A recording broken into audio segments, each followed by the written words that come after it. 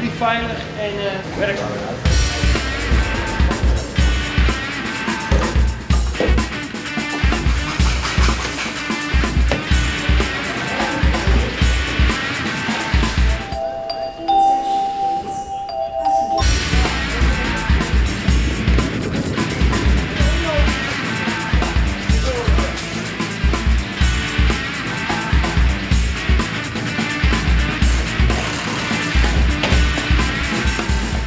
Stuk, hier komen morgen in de stores.